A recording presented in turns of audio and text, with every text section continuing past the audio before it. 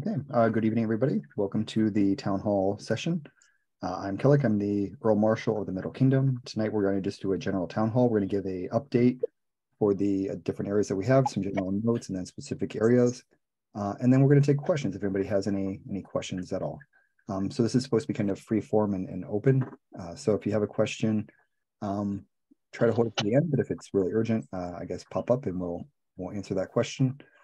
Um, during the during Dog and Anne Marie's reign, we had listening posts with each, of the different areas, uh, and I thought that went pretty well. Um, I thought that this time we try something different and try to have everybody in one. Um, so one of the things I'm trying to do is is with this office is be a little bit more open and transparent. Parent, so that's giving people updates and things like that. Um, so when, on the things that we have generally accomplished area, uh, we recently completed a waiver review, uh, which I really appreciate all the marshals and all the combatants getting their waivers signed and sent into the clerk of the roster so that we can uh, have that information available and, and, be in compliance with the society handbooks and society rules. Um, I think that that's really, really great. Um, and that also makes it so that our information is is true. It's a more accurate representation of who is participating in the in our activity. Um, and that's nice to know too, to know who is actually active. Uh, the next topic that I have um, the uh, Uber forms that people sign at practices should be sent in at least quarterly to the clerk of the roster. Uh, waivers from events should be included with the event packet and sent in after the event. So that's all areas. So if you if you uh, run an event, you have them fill out the everybody fills out the packet, send that into the clerk of the roster as soon as you can after the event. Um, your quarterly reports need to, or your your Uber practice, your Uber uh, waivers, the one that everybody signs needs to go in uh, at least quarterly. Um, Archery has a really nice process where they upload it to uh, to their the uh, Google Drive attached to the the uh, group account, the group Marshall account, um, and that's great. Uh, there's no reason to change that process. I think that that's that's wonderful. Um, I wish that we could all be quite as together as, as Archery is. I think they're doing a really good stuff there. Um, soon, some things that we have work we're working on uh, we're going to be adding an expiration date to authorization cards. So on the, the website itself in the authorization database, we're going to be adding a column for uh, expiration date so that we can have that on there. We've heard that uh, there are some kingdoms when our people travel who have um, who have questioned our authorization cards because they don't show an expiration date. Uh, so we're going to go ahead and just change that. We're gonna we want to make things as easy as we can for our people. Um, hopefully, it's not too hard, but you know we're going to live and learn. Um, we are also going to add uh, whether somebody has a background check to the to the authorization card, um, so that you can see if you are trying to find a uh, a youth marshal or a youth officer, you can go and see if they're having that. What we're going to show on that is we're going to show the expiration date of their of their background check, so you can kind of get a sense of of where they're at. Um, I do want to pull up. I asked today uh, for the background check process, I asked the deputy for uh, background checks, Michael Calhoun, um, to give me the, the latest and greatest. Uh, where, oh, he emailed it to me. Um, I'm going to pull up my email here so I can I can uh, read that off to everybody. Um, I thought that the the process was uh, good, and oh, he sent it to me here. So I didn't read. I just got this right before the meeting, so I wasn't quite as prepared on this one. So one moment. Uh, if I had another back uh, joke, this would be a great time for it, but I don't have one right at hand. Uh, but that's okay.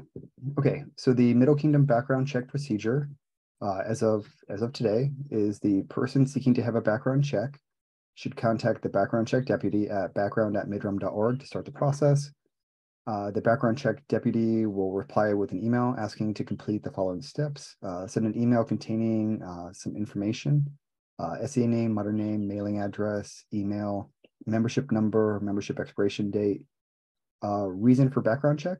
Uh, that could be you want to be a youth armored, youth rapier, youth archery, group youth marshal, youth marshal at large, giving why, region, uh, local group, and initial background only. Who did you submit your change of officer form? Oh, so you also have to submit a change of officer form. Uh, so you'll send a change of officer form to the respective deputy on my side. So um, archery or youth combat uh, for that. Once that's been submitted to the proper pe- uh, the proper people, the background check deputy will present the information to the Kingdom Seneschal for approval. The Kingdom Seneschal will approve the request. Uh, the background check deputy will add the person's name and email address to the society background check request list. Uh, they will then send an email informing the person who requested it that they have been approved by the kingdom and to expect an email from the background check company in the near future. Uh, the background check company will then send an email directly with more information that the email address will come from administrator at telecorp.net. Uh, they'll, it will include a link to a secure site to provide more information. Um, once you've done that, then the requester should then uh, notify the background check deputy that they've submitted their information.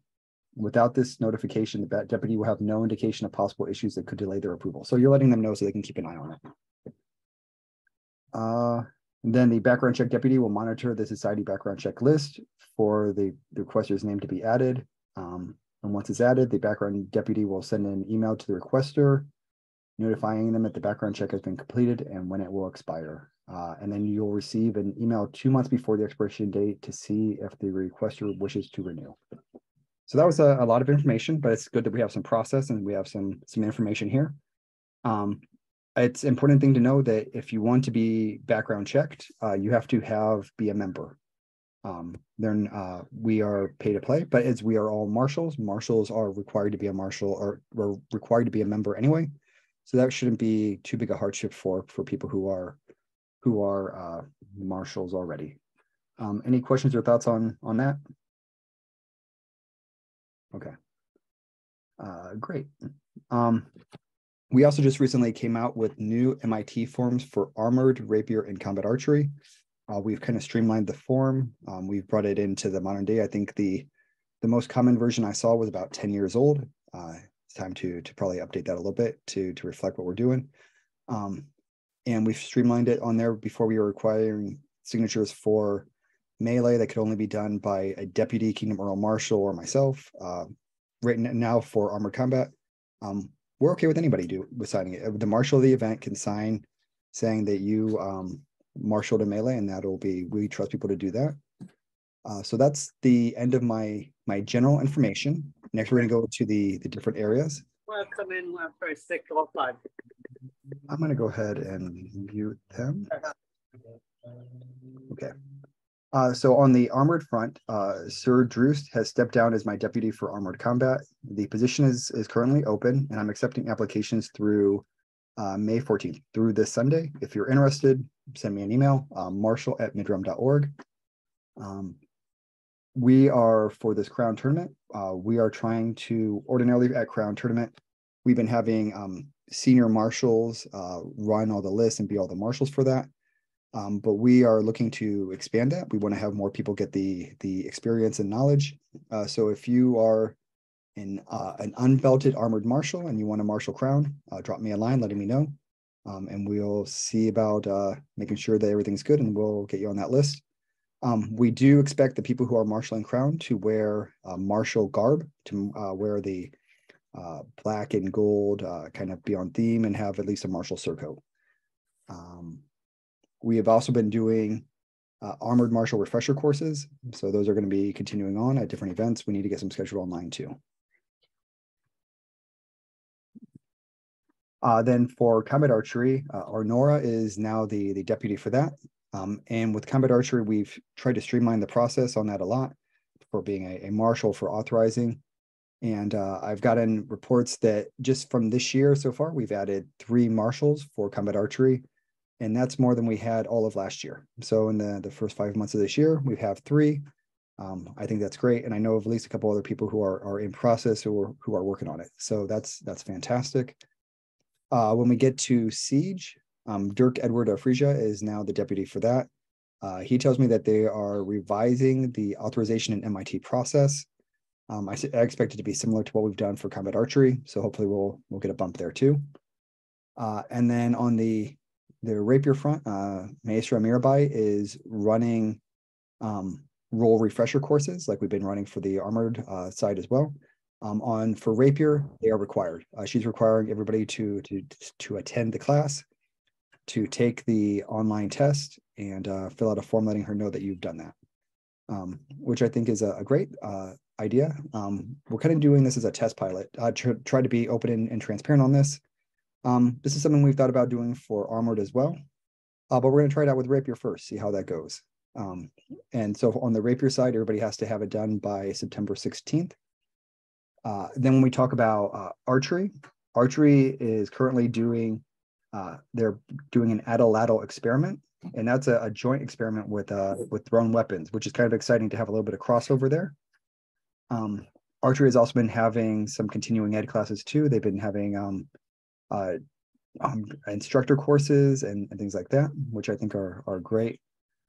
Um, and then on thrown weapons, we as well with the they also have the atlatl experiment with thrown weapons. It's a joint experiment, uh, but there's also the Plumbata experiment. We just started that this past weekend, and then um, today, as uh, or this past weekend, Uthan had a Plumbata class, and as a result of that class, they uh, came up with a few small revisions that they wanted to have to to that rule set. Uh, so we have um, released a revision of the Thrown Weapons Handbook uh, this morning. So that's available currently on the the uh, Earl Marshal webpage, um, as well as on the Thrown Weapons Hand uh, page. Um, we should talk about that for just a moment. If you go to the Earl Marshal webpage, uh, one of the first things you're gonna the first thing you'll see is a link to the authorization database. Um, the second thing is a link to all the most current editions of all of the handbooks. Um, so that's the, to my mind, that's the best place. That's the easiest place to get that information. Uh, we do have the the documents library. Um, I've had a little bit of trouble getting that updated, so I don't know how current that is. Uh, the the links on the web page I have complete control over. The document library I don't have as much control over. Um, the help desk does what they can, and I think that they're great. Uh, but the best place is the the front page of the Earl Marshal page on the Kingdom website. Um, and I have uh, from Youth Rapier, uh, Odo Umi is now my deputy. She is working on a new edition of the handbook. I think our, our last edition is about five years out of date for uh, for Youth Rapier. Um, and she tells me that the uh, Youth Rapier currently has 33 marshals, four MITs, and five youth authorized. Um, I assume that's uh, youth authorized to, to fight uh, children, not five youth who are authorized to fight, but five adults authorized to fight youth con- to fight the youth. Um, that's kind of a weird way to, to phrase that. Um, and then the the other areas under my purview are uh, youth armored, equestrian, and hound coursing. And I don't have a, a specific update for any of those areas. Um, does anybody have any questions at this moment?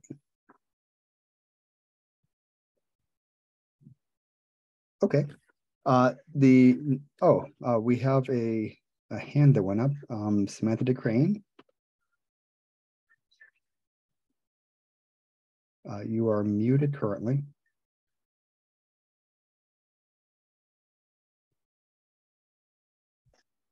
Sorry. Okay. Um, quick question since you touched on throwing weapons and revising the handbook and everything. Yeah. Do you have an idea of when you will have the new marshals test done? I have two MITs that are kind of chilling in purgatory while we wait on that.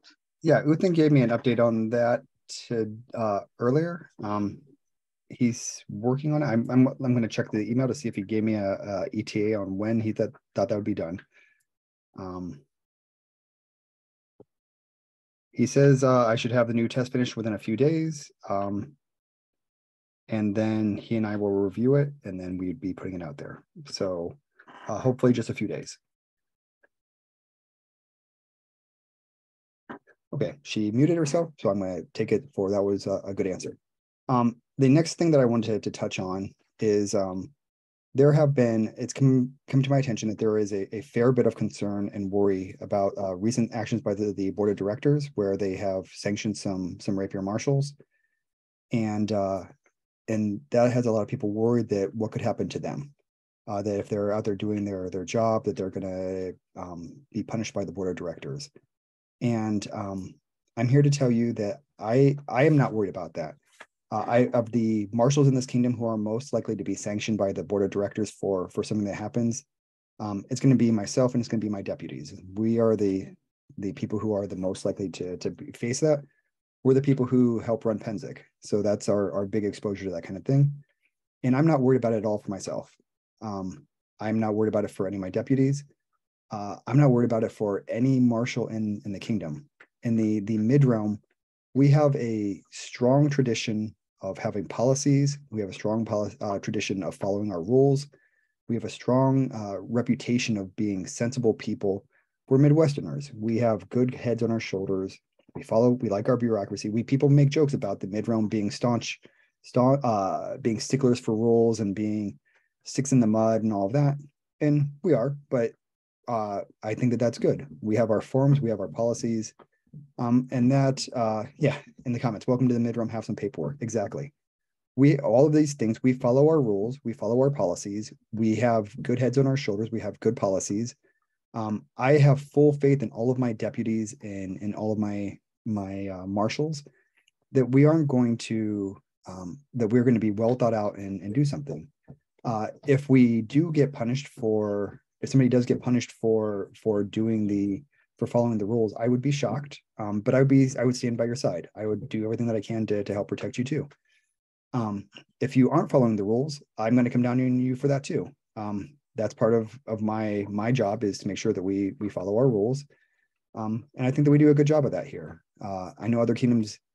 I, as I've been going around, I've uh, I go and I look at other kingdoms' web pages or their their rules. I try to see what how they're doing it, and I think the Midrealm has a really good uh, really good program. We have a really good policy. Um, we have rules, uh, we have policies, and we have traditions. Um, I go to other, I look at other kingdoms, and they have none of that. So we we're better. Uh, I mean, I'm a I'm staunchly a mid realm uh, fan. I think the mid realm is the best kingdom in the known world, and I really don't have anything to worry about that. Um, yeah, I think that's everything that I wanted to say on that matter. Um, but if anybody has a question, I'm happy to field any questions.